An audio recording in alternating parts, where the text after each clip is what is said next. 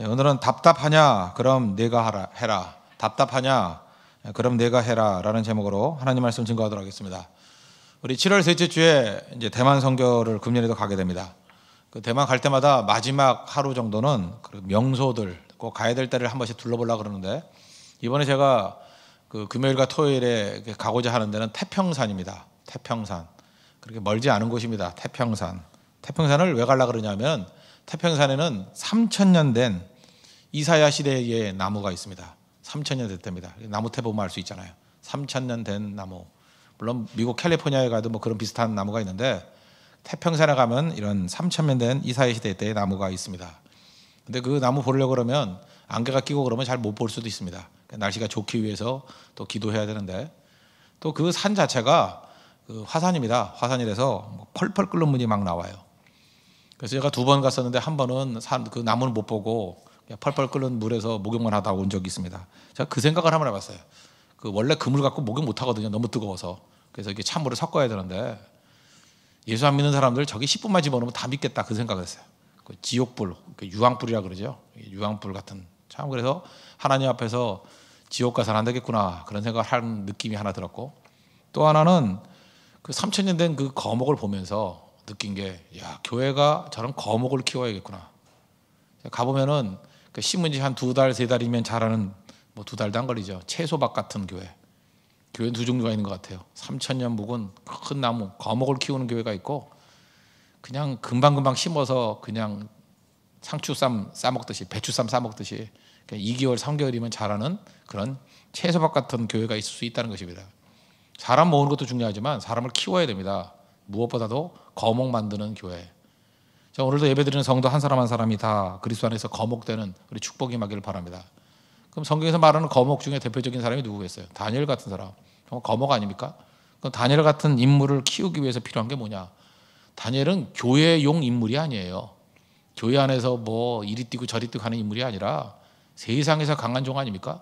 그게 교회의 인물이라는 거예요. 거목이라는 게 교회에서 떠드는 건 바보입니다. 교회에서 조용하게 말씀 듣고 무장하고 세상에서 빛을 발해야죠. 세상에서 폭발음이 있어야죠. 그 제가 옛날에 비유를 많이 하기를 교회는 미사일 발사대라고. 교회는 미사일 발사하는 겁니다. 예배가 뭐예요? 한 사람 한 사람 성도를 미사일로 만들어서 세상을 향해서 쏘는 겁니다. 발사, 발사, 발사. 그럼 어디서 터져야 돼요? 여러분의 직장이나 삶의 현장 속에서 복음의 능력으로 터져야 된다는 것입니다. 근데 세상에 나가서는 진짜 졸도 안 되는 자들이 맨날 교회 와서 큰 소리 치죠. 교회에서 터져요. 그걸 자폭이라 그러죠. 자폭. 무슨 뭐 자폭 하는 그런 뭐 자살 특공대도 아니고 교회에서 터지면 안 된다는 것입니다. 여러분의 모든 것들이 세상에서 터져야지 교회에서 터지면 안 된다는 거예요. 사업 현장에서, 직장 현장에서, 학교 현장에서, 삶의 현장에서 터져야지 교회에서 자꾸만 시끄럽게 떠드는 거 그거는 제가 볼 때 잘못된 접근이라는 것입니다. 다니엘 보십시오.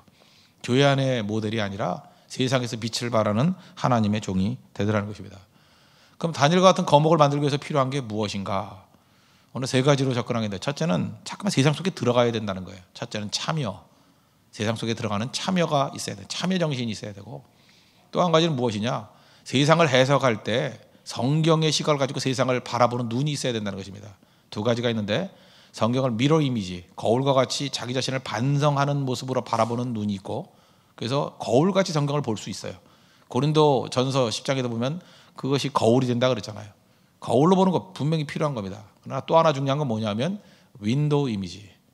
우리 컴퓨터도 Windows가 있잖아요. window image. 성경이라는 창을 통해서 세상을 바라볼 줄 알아야 되는 거예요. 오늘도 유람선 사고가 났죠. 이 사고를 성경의 눈을 가지고 어떻게 바라봐야 될 것인가 이렇게 해석하는 거예요. 지금 세상의 정황들을 어떻게 해석해야 될 것인가. window image. 그 시각을 길러주는 거. 그래야 다니엘 키울 수 있다는 것입니다. 그리고 세 번째, 세상이 아무리 혼탁해도 변화되지 않는 것이 하나님 말씀이죠. 말씀으로 기둥을 세울 줄 아는 거.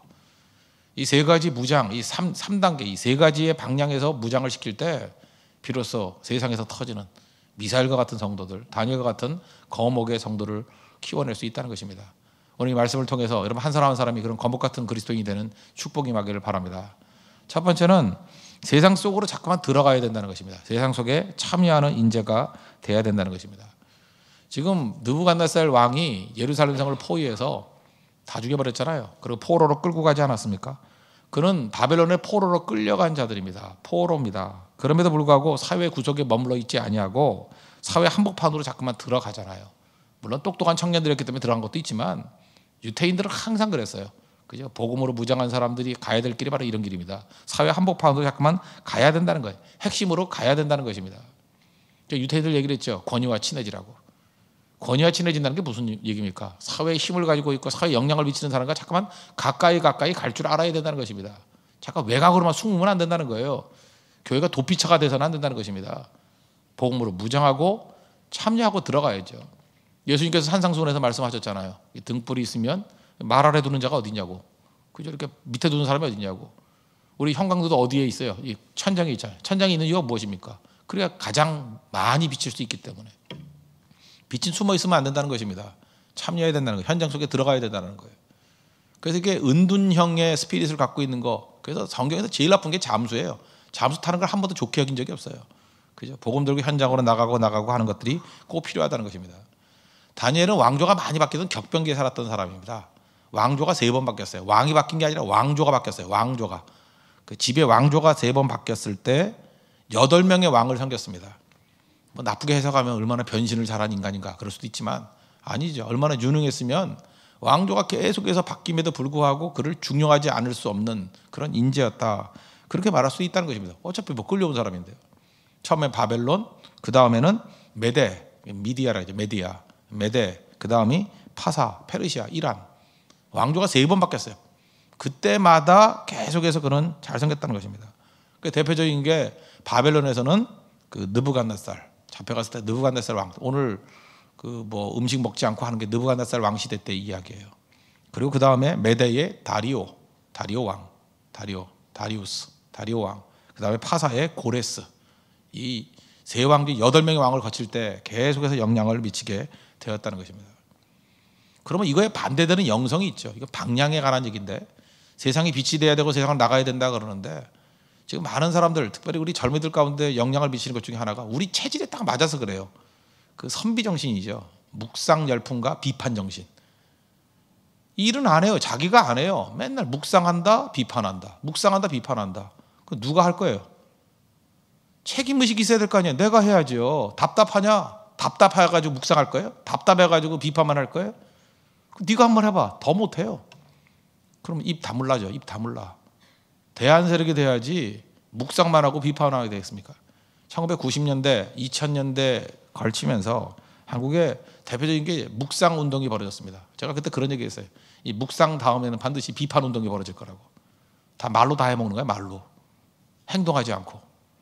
그래서 묵상 운동의 위험성에 대해서 지적을 했던 적이 참 많이 있었습니다. 뭐켄 가이어라든지 헨리 나우엔이라든지 리차드 포스터라든지 훌륭한 분들입니다. 이분이 나쁘다는 게 아니에요. 근데 책도 균형 있게 읽어야 되는데 오로지 묵상해 묵상. 밥만 먹고 묵상만 하죠. 켄 가이어 책 보고 묵상하고 리차드 포스터 책 보고 묵상하고 그 다음에 헨리 나우웬 얼마나 많은 사람이 읽었습니까? 이 사람 뭐 캐톨릭 신분대도 불구하고 얼마나 많은 묵상 운동이 벌어졌어요.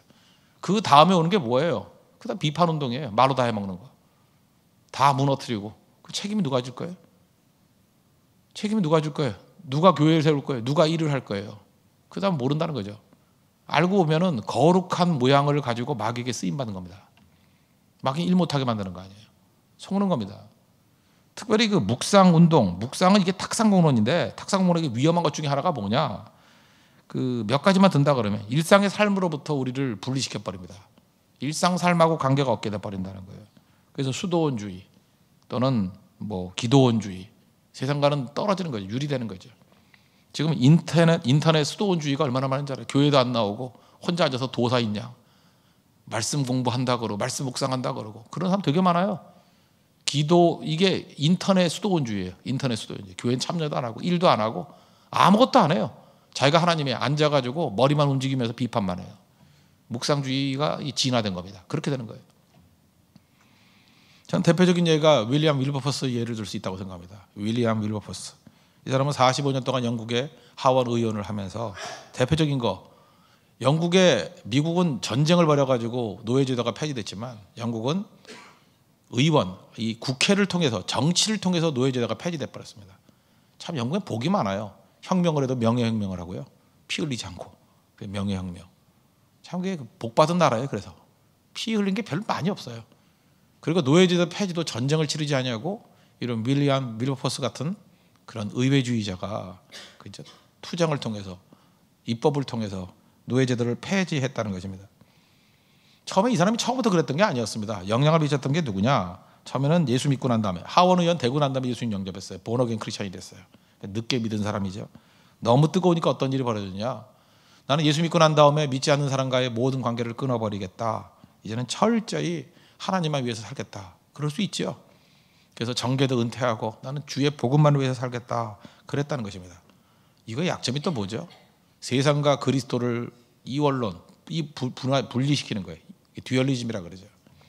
그때 그의 신앙의 약점, 틀린 건 아니지만 잘못된 길로 갈 수 있다. 이걸 지적해 준 사람이 누구냐? 나 같은 죄인 살리신 Amazing Grace 작사 한 사람이죠. 그 노예 노예선 노예선 선장했던 사람. 그 존 뉴턴. 아까 305장 찬송했죠. 나 같은 죄인 살리신 Amazing Grace. 존 뉴턴이 와가지고 조언했습니다. 하나님은 당신이 정계에서 하나님의 뜻을 이루시기를 원하십니다. 그 얘기 듣고 그 자극 듣고 평생 평생이에요. 평생이라는 게 무려 45년. 45년 동안 입법을 통해서 정치를 통해서 노예제도 없을 수 있다. 피 한 방울 흘리지 않고 영국에서 문제가 해결됐어요. 이게 하나님께서 하시는 일이라는 것입니다. 시스템을 통해서 얼마나 많은 일을 하는데요. 최근에 우리 그 사극 드라마 가운데 정도전 있죠. 정도전이 이성계를 물론 뭐 그 극이지만 설득하면서 이런 얘기 하더라고요. 이성계도 그러잖아요. 나 이제 안 할 거야. 뭐 정치 더러워서 안 해. 그래서 함경도로 돌아갈 거야. 이러니까 도탄에 빠진 백성들이 얼마나 많은데 그러면서 이런 얘기를 해요. 정치를 통해서 얼마나 많은 사람을 살릴 수 있는지 아십니까? 정치 들어가면 더럽습니다. 정치 들어가면 음모가 있잖아요. 정치는 뭐예요? 인간의 욕심을 전제로 하거든요. 인간의 욕심과 욕심이 충돌되는 거예요. 어찌 보면 정치의 세계가 가장 나이브한 인간의 세계인지도 몰라요. 욕심이거든요. 내 뜻을 관찰하려고 하는 거.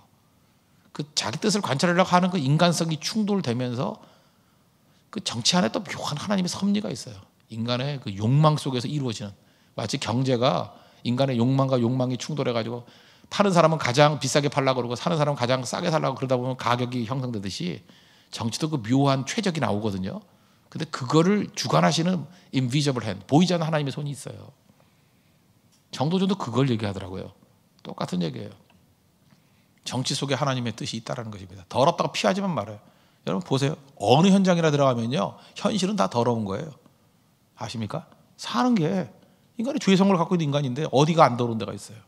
그러니까 들어가서 해결을 해내야죠.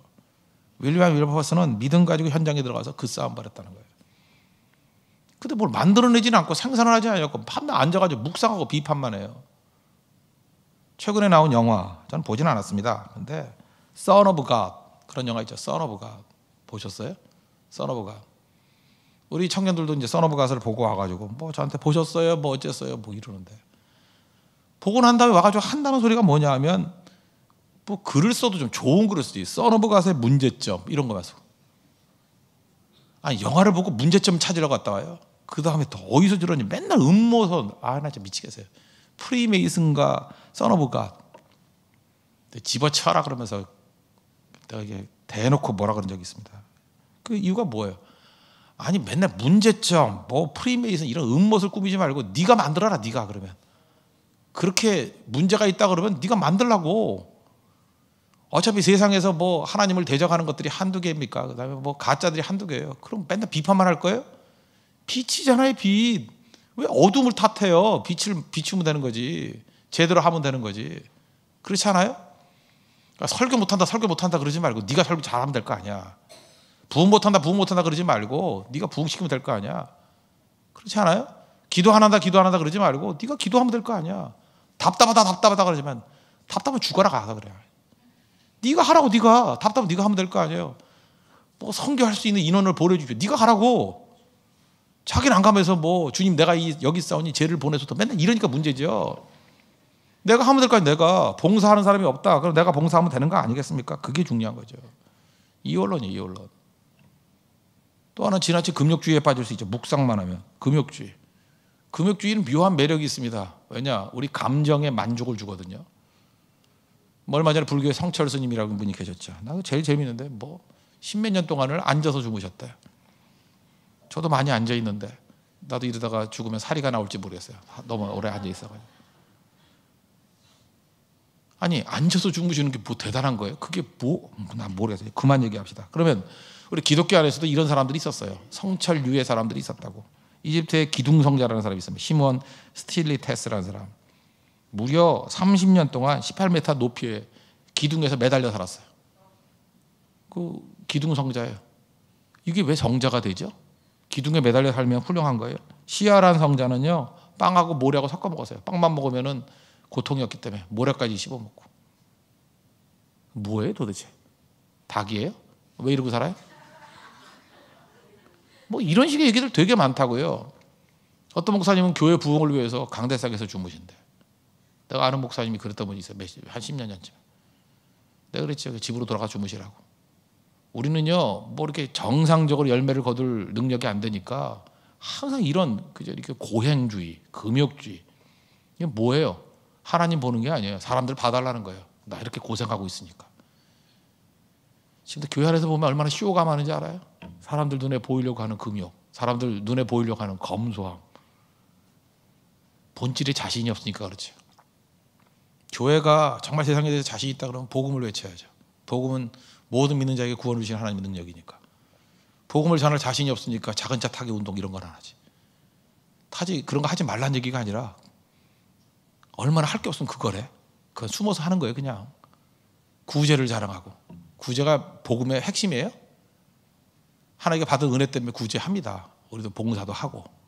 근데 그건 메시지도 아니에요, 그거는. 그냥 덤으로 하는 거지, 덤으로. 우리의 자랑은 예수 그리스도의 십자가가 복음이죠, 복음. 오늘도 이렇게 역외선으로 많은 사람들이 죽었는데 그들에게 필요한 게 뭐예요? 잘 아시겠죠? 복음이에요.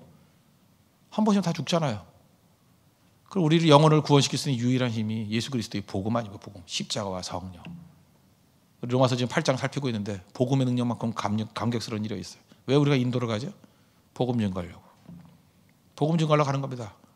그 다실론에 빠져 있는 사람들, 상대주의에 빠져 있는 사람들에게 유일한 생명의 길인 예수님 증거하러 가는 거예요. 영적 싸움 벌이러 가는 거예요. 그게 우리의 모습이라는 것입니다. 하나님 앞에서 이런 묵상 비판 그런 부분이 아니라 현실 속에 들어가십시오. 뒤에서 어둠 속에서 공격하는 그런 더러운 인생 되지 말고 이제 더러운 인생이에요. 빛입니다. 우리는 빛의 자녀답게 행동하십시오. 언제나 책임지십시오. 함부로 비판하지 말고 대부분은 보이는 것이 사명입니다. 내게 보이죠. 그럼 내가 가서 하면 되는 거예요.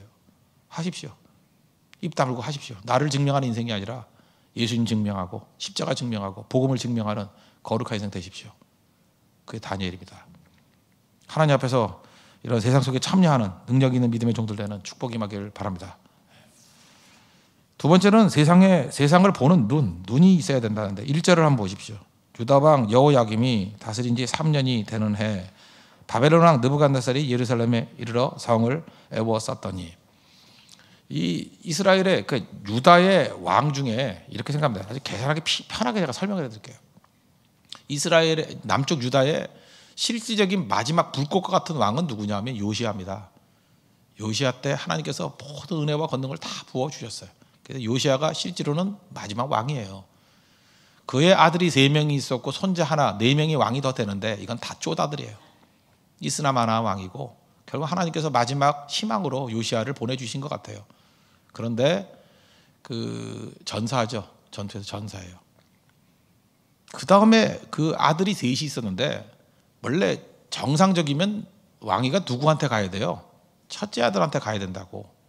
근데 첫째 아들이 쪼다했겠죠. 그러니까 둘째 아들에게 갔지. 그래서 둘째 아들이 누구냐 하면 여호 아하스예요. 여호 아하스. 여호 아하스가 왕이 됩니다. 근데 똑똑은 한데 이 친구의 약점이 뭐냐면 과거에 매여 있는 사람이에요. 아버지 복수한다. 아버지 복수한다. 그래서 그 애굽의 왕 느고라는 왕이거든요. 바로 느고, 파라오 느고라고. 바로 느고 원수 같겠다고 해서 싸우다가 또 죽어요, 지도. 아버지 복수하겠다고 싸우다가 죽어. 그러니까 바로 느고가 와가지고 애굽이 애굽의 바로 느가 와가지고 이제는 명분에서 밀렸던 그 능력에서 밀렸던 첫째 왕을 세워요. 그게 여호야 김이에요. 여호야 김. 첫 번째 아들. 그러니까 바보죠, 바보. 바보 세워놨다고요. 그 여야김 때예요. 근데 여야김은요 특징이 뭐냐면 세상 물정 하나도 모르는 거예요. 그때 당시에는 애굽이 애굽에서 자기를 세웠으면 애굽하고 그냥 친선 관계를 맺던지 이래야 되는데 갑자기 떠오르는 바벨론이 얼마나 강한지 국제 정세 파악을 못 해요. 그래서 양다리 외교 애굽에 갔다가 다시 또 바벨론에 갔다가 이러다가 죽어요. 여호야김 아시겠죠? 이리 붙었다 저리 붙었다 하다가 그래서 그의 아들이 또 여호야 여호야긴이야. 여호야긴은 또 바벨론에 끌려가 가지고요 죽을 고생 다 하잖아요. 뭐 눈 뽑히고 막 이래 가지고 아마 38년 동안 감옥에 있었을 거예요. 그 아버지 잘못 떠 가지고 여호야김이라는 아버지 잘못 떠 가지고 여호야긴이 진짜 긴 세월 동안 그렇게 보면 돼요. 긴이기 때문에 긴 세월 동안 감옥에 있었어요. 그리고 마지막 왕이 시드기야라고 세 번째 왕. 그 이 세 번째도 이것도 바보예요, 바보. 그래서 시드기야가 또 어디서 많이 나와요? 예레미야서에 많이 나오잖아요. 우유부단해 가지고 이리 갈까 저리 갈까. 시드기야는 마지막 때 끌려가 가지고 눈 뽑혀 가지고 개줄에 묶이듯이 끌려가 버렸어요. 이게 다 요시아의 아들들이에요. 요시아의 둘째 아들 여호와서 제일 괜찮았는데 전쟁에서 전사하고 첫째 아들 멍청했는데 이런 양다리 외교하다가 죽고 그의 아들 세우고 셋째 아들 시드기야 눈 뽑히고 이 모든 것들 여러분 기억나십니까? 그의 그 증주 할아버지 나는 히스기야 자기가 다 자랑하고 난 다음에 당대에는 망하지 않으면 돼요. 바벨론에 다 팔려가리라. 네 자녀들이 다 죽게 되리라. 괜찮아요. 예언에 대한 응답이죠. 그러니까 얼마나 무서운 얘기입니까? 후손들을 위해서 기도하는 모습이 꼭 있어야 되겠죠. 이런 요시아의 아들들이 아주 그 난장판 치는 그런 시대에 다니엘이 태어났다는 거예요. 다니엘이. 그래서 그런 입장에서 다시 보십시오. 1절 유다 왕 여호야김이 다스린 지 3년. 그러니까 뭐예요? 요시아 죽고 둘째 아들이었던 여호아하스가 전투에서 죽고 그다음에 애굽이 세운 허수아비 왕 여호야김이 세워진 지 3년 되는 해. 그러면 애굽이 세웠는데 또 바벨론이 양다리 외교하니까 바벨론 왕 느부갓네살이 예루살렘에 이르러 성을 에워싸서 이는 또 폐위시키고 여호야긴 세운다고 또 배신해서 또 죽이고 그러니까 뭐예요? 왕은 왕이로되 왕 같지 않은 왕이 있었던 그 시대에 여기서 알수 있는 게 무엇입니까? 지도자의 안목의 시각. 하나님께서 주신 말씀이 있거든요. 당시에 그 예언자가 예레, 예레미야 아닙니까? 예레미야를 통해서 말씀을 다 주셨어요. 세상을 어떻게 봐야 되고 어떻게 읽어야 될지. 당시에는 이 예언서가요. window image였어요. 이 예언서의 말씀을 가지고 세상을 이렇게 해석하라는 거예요. 애굽을 해석하는 거 저거 망할 나라야. 해석이 돼야죠. 바벨론 뜰 나라야. 네가 해야 될 일은 뭐냐? 순종하는 거야. 끌려가면 끌려가는 거야. 모든 것들을 다 해석해 줬거든요. 성경이.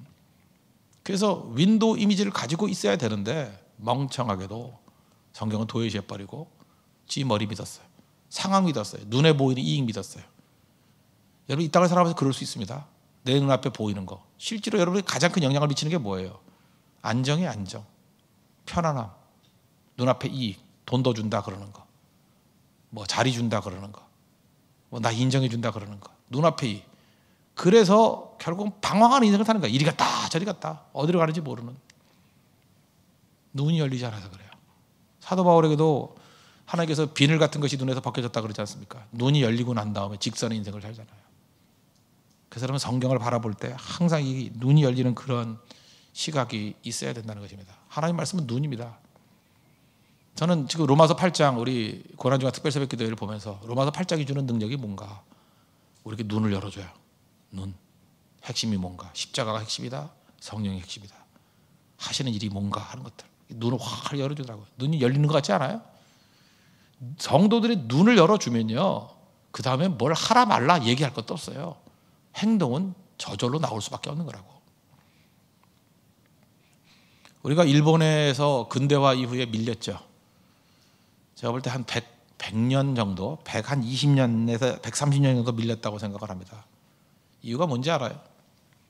일본이 그 메이지 유신 1860년이었으니까 메이지 유신 이후에 11년 지나고 난 다음에 1871년도에 시찰단 시찰단을 미국과 유럽에 보냈어요. 우리도 그거 비슷한 비스무리하게 가지고 김옥균을 비롯해서 몇 명 보냈죠. 근데 우리는 가가지고 제대로 못 하고 왔는데 얘네들은 신사유람단 뭐 이런 식으로 얘네들은 그 가가지고 시찰단으로 미국과 유럽을 보고 왔어요. 그 중에 제가 볼 때 일본의 축복 중에 한 사람이 누구냐? 오쿠보 도시미치. 오쿠보 도시미치. 이 사람이요 유럽과 미국을 가면서 얼마나 자세하게 묘사를 해놨는지. 지금도 읽어보면요 유럽 가기가 싫어. 너무 자세히 써놔서. 미국 가기가 싫어. 그냥 묘사를 너무너무 잘하는 거야 그냥. 일본인의 그 특유의 기록 문화. 척가 기록해가지고. 다 기록해 왔어요. 사진도 카메라도 없는 시대에. 다 기록해 왔어요 다 기록. 그래놓고 와가지고 그거 묵상하면서 판단을 내린 거예요 일본이 가야 될 길. 사실은 100년 동안에 일본이 걸어왔던 길은요. 오쿠보 도시미치가 본 눈대로 갔어요. 오쿠보 도시미치가 뭐라 그런지 아십니까? 내가 유럽과 미국에 가보니까 외교는 외교를 제일 잘하는 나라는 영국이다.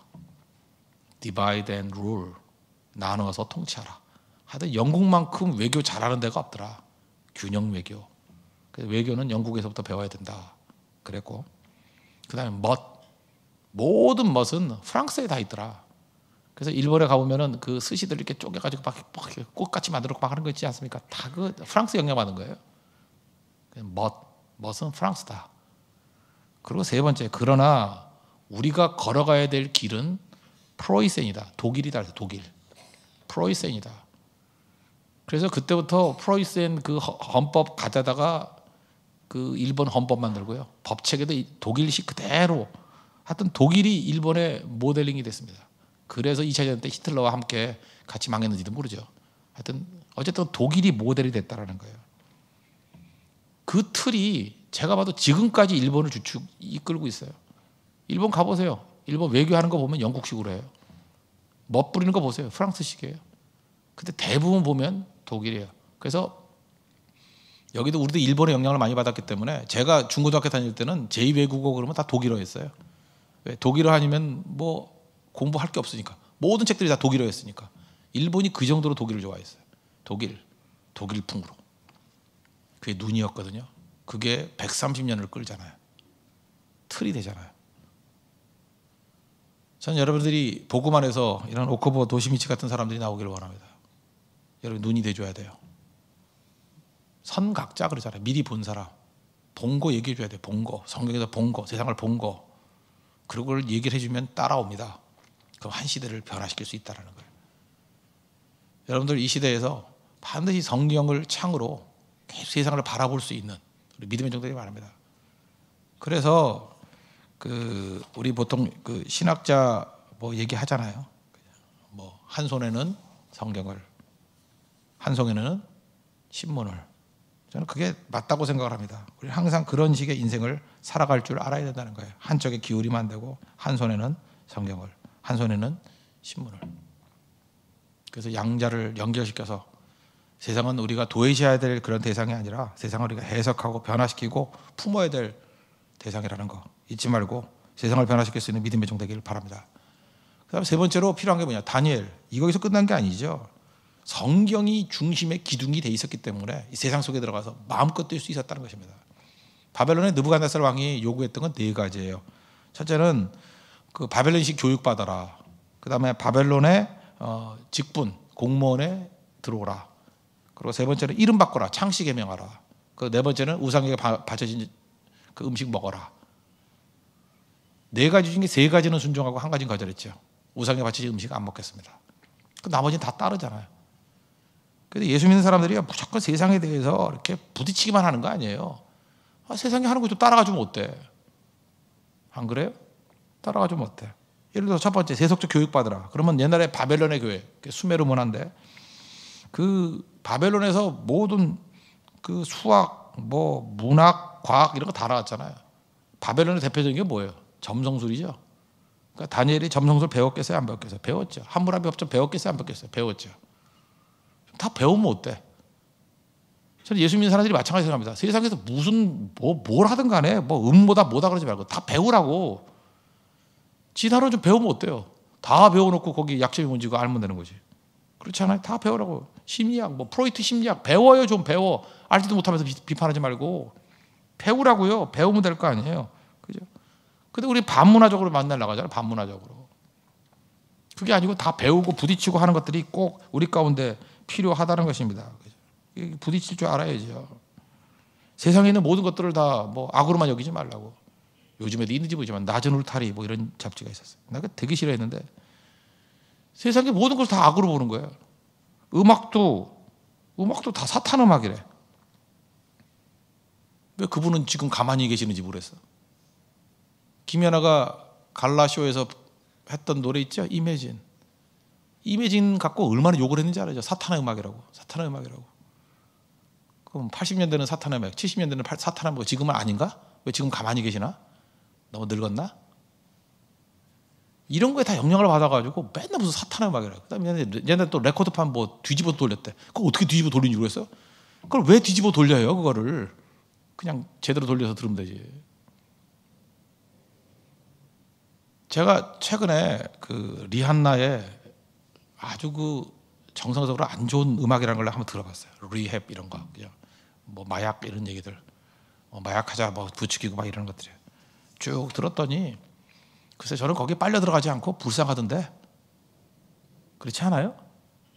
모든 음악이 사람에게 통하기 때문에 그러는 거 아니에요. 나는 그게 신음소리 들리던데요. 피조물의 탄식으로 들리던데. 그렇지 않아요? 아, 세상이 이원론적으로 그걸 타도의 대상이에요. 건져야 될 구원의 대상이지. 아, 마약하고 저렇게 힘들어하는 쟤네들 구원해 주세요. 기도가 나와야지. 그걸 욕을 해야 돼, 그걸? 그렇잖아요. 먼저 우리 시도가 바뀌어야 된다는 것입니다. 그 하나님 말씀으로 철저히 무장하면 이거 재속적인 학문 그 두려워할 거 하나도 없다라는 것입니다. 읽어요. 뭐 덴마커의 책도 읽고 뭐 신은 없다 한번 읽어보라고. 그 없냐? 신이 없으면 뭐 어떡할 거예요, 그러면? 읽어보면 허무해져요. 뭐 이따위를 책이라 썼냐 이런 생각이 들고. 그 다음에 또 공무원 하라 이거 하잖아요. 5절 하반절. 그 후에 그들은 왕 앞에 서게 될 것이라. 너안 하잖아요. 공무원 하잖아요, 다. 이름 바꾸라. 뭐 7절 보니까 뭐 다니엘은 벨드사살이라 그랬고 세 명 하나냐는 사드락, 미사일은 메삭, 아사, 아사는 아사랴는 아벤느고 이름 바꾸려도 하잖아요. 여러분 같으면 하겠어요? 저한테 전병욱인데 뭐 단학가 뭐, 뭐 어쩌고 저쩌고 이러면은 뭐 아, 단학가 제가 밭전이거든요. 단학가가 밭전 전중이잖아. 단학가가 전중. 그래서 옛날에 전시들은 단학가로 많이 바꿨다 그러더라고요. 단학가 뭐 어쩌고. 까지 바꾸면 바꾸지 뭐 그 목숨 걸어요 그거. 단학가 얼마나 좋아. 영어들 다 낚으라고 단학가 뭐. 그렇게 해석하면 되는 거지. 다 했어요. 이걸로 생명 걸지 않았어. 그러나 본질적인 것은 생명 걸잖아요. 하나님 말씀이 그런 겁니다. 그죠? 쓸데없는 싸움 벌이지 말라고요. 왜 그 지엽적인 싸움을 벌여요? 본질적인 싸움을 벌여야지. 그러니까 유연하게 슬슬 웃으면서 그래 네 마음대로 해. 뭐 이렇다고 죽고 살 문제도 아니고. 근데 우리는 유교 영향을 받아 맨날 명분론이야. 아, 명분이야 다 가져가라고. 그죠? 그 다음 중요한 게 뭐예요? 그러나 생명으로 살아야죠. 사도 바울 그랬잖아요. 약한 자들에게 약한 모양으로, 유대인들에게 유대인은 모양, 이방인은 이방인의 모양으로. 왜 그랬죠? 벨이 없어서? 아니요. 얻고자 함이요. 얻고자 함이요. 영원 얻으려고는 얼마든지 얻을 수 있는 거죠. 하나님 앞에서 바로 이 모습이 있어야 된다는 것입니다. 다니엘은 여기 보세요. 나머지는 다 유연하게 맞춰나갔지만 결코 포기하지 않은 게 뭐냐면 하나님 말씀에 올려 우상에 바친 음식 먹지 않겠다. 말씀의 약속이죠. 여기서 하나님 말씀을 품고 있는 사람과 아닌 사람의 차이점을 알 수 있다는 것입니다. 나중에 그 다니엘서 9장에 보면은 9장 2절에 읽어만 드릴게요. 곧 그 통치 원년에 나 다니엘이 책을 통해 여호와께서 말씀으로 선지자 예레미야에게 알려주신 그 연수를 깨달았나니 곧 예루살렘의 황폐함이 70년 만에 그치리라 하신 것이니라. 그러니까 다니엘이 맨날 읽었던 성경이 뭐예요? 예레미야의 예언. 그래서 다니엘은요 이미 다 알고 있었어요. 그래서 다니엘이 맺혔던 메시지가 뭐예요? 가능한 한 바벨론에 가서 정상적인 삶을 영위해라. 다니엘 메시지 아니에요? 그 정상적인 삶을 영위하잖아요. 그리고 그들을 욕만 하지 말고 그들을 위해서 기도해라. 바벨론을 위해서 기도해라. 하나님 그렇게 말씀하셨거든요. 그리고 또 뭐라 그래요? 너의 고난이 영원히 지속되는 게 아니다. 70년이다. 무슨 얘기예요? 한정돼 있다. 그 믿은 거예요. 그러니까 소망 가운데 있는 거죠. 그 다음에 너희들에게 왜그 그 훈련시키는지 아느냐? 너희들 새로운 하나님 백성을 만들기 위해서 새 소망을 주기 위해서다. 기쁨이 있는 거죠. 다니엘의 모든 행동 지침은요. 그의 행동들의 모든 것들은 예레미야의 말씀으로 다 주석이 가능한 인생이었어요. 여기서 우리 알 수 있는 게 뭐예요? 여러분이 어떤 일을 하잖아요. 그러면 누가 와서 물어봐요. 너 왜 그런 일을 하니? 그러면 그것을 정당화시킬 수 있는 하나님 말씀이 뒷받침돼야 돼요. 여러분이 하는 모든 일들에 대해서 왜 그걸 하는지에 대한 하나님 말씀의 뒷받침이 있어야 돼요. 우리 교회에서 하는 모든 행사들이 있지 않습니까? 왜 하는지에 대해서 물어보십시오. 성경적인 근거를 댈 수 있어야 돼요. 그러지 않으면 틀린 거예요. 성경과 부딪히는 일을 하지 마십시오. 여러분의 삶을 성경으로 해석이 거, 주석이 가는 인생이 되십시오. 그럼 승리할 수 있다는 거예요. 결국 다니엘과 같은 거목 만들기 위해서 필요한 게 뭐예요? 계속해서 하나님 말씀에 기둥을 세워주는 거예요. 기둥을. 그럼 말씀이 우리를 이끌어가는 인생이 될 수 있다는 것입니다. 그럼 결코 넘어지지 아니하는 가장 강력한 하나님 백성이 될 수 있다고 확신합니다. 이런 거목되는 하나님의 축복이 임하길 바랍니다. 말씀 정리하겠습니다. 다니엘과 같이 이 거목과 같은 그리스도인 되기 위해서 필요한 게 뭐예요? 아무리 준비가 잘 돼 있어도 세상에 빛이 되지 않으면 안 되잖아요. 참여하십시오. 잠깐만 세상에 들어가십시오. 직장 다니십시오. 집에만 있지 말고 잠깐 부딪히십시오. 불신자들 만나십시오. 부딪혀야 돼. 세상 속에 나가야 돼요. 세상에서 발사되십시오. 그리고 내가 여기서 무슨 뜻을 펼칠 것인가 고민하십시오. 참여하는 거예요. 참여하는 거. 그리고 두 번째 단계는 뭐예요? 하나님의 말씀의 창을 가지고 해석하십시오. 바라보라고 이게 무슨 뜻이든지. 성경 보고 맨날 거울만 보지 말고 mirror image로만 보지 말고 window image로 세상을 바라보시오. 성경의 관으로. 그게 필요한 거예요. 그리고 내 삶의 모든 것들을 하나님 말씀의 근거를 가지고 주석을 세우십시오. 그러면 그런 사람들은 세상의 리더가 되고 세상의 빛이 되고 그런 한 사람이 나오면 수천 수만 명의 사람들을 건져낼 수 있는 빛의 자녀 같은 역할을 감당하게 될 것입니다. 그런 하나님의 백성들은 축복이 임하기를 바랍니다. 예, 기도하겠습니다. 이제 하나님 우리 교회에서도 이런 인재들이 배출되게 해주시고 내가 먼저 이런 거목 같은 그리스도인 될 수 있도록 어, 붙들어 달라고 다시 하나님 앞에 간구하도록 하겠습니다. 기도하겠습니다.